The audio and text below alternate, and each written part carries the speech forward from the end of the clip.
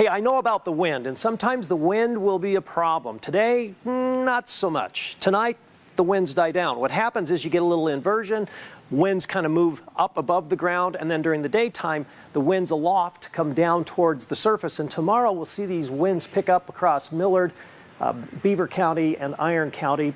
Pretty heavy winds, looks like, between Nephi and I-70 Cove Fort.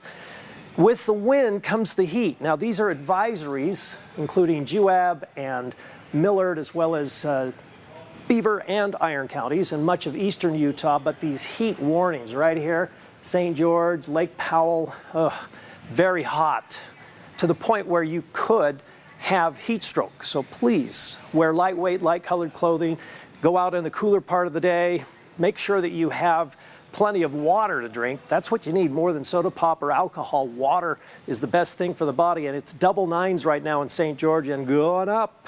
In Salt Lake City, it's 96 already at the noon hour. Where are we going to end up today? It's going to go over 100. 85, but that's the Provo Airport near Utah Lake. On the hillside, it's closer to 94 at Provo BYU. Most, most areas 90s, some upper 80s. Here's where these little disturbances are going to move, be moving along today. His, this is a, a little bit of tropical moisture, heating of the day, pop and drop showers from about Salt Lake City south to the Grand Staircase Escalante. Those will diminish overnight and then they return tomorrow, maybe a little farther to the north. None of these are heavy, but they will pop up here and there if you're going into the mountains.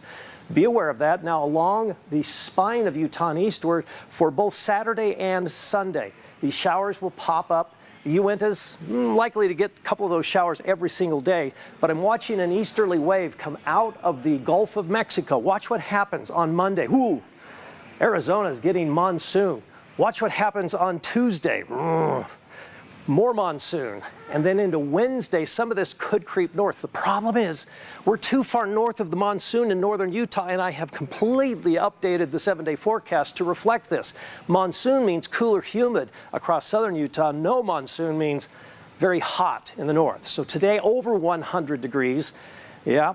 And uh, temperatures in the 80s and 90s statewide. Those thunderstorms could pot potentially be heavy, but mostly hanging around and near the mountains or moving off of the Grand State Staircase Escalante down south. Now 110 today, St. George, 109 Friday. Now the monsoon moisture starts to come in Sunday. So showers and possible thunderstorms, a high chance Monday, and I've lowered the highs to the mid 90s with a chance Tuesday, Wednesday. Now we're kind of the opposite. We see a slight chance tomorrow, but it's going to be 105.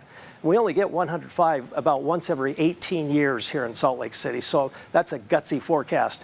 Slight chance Saturday, Sunday, then Monday, Tuesday, Wednesday. We're too far north of the monsoon. I have taken the 90s out because we'll just simply be downright hot.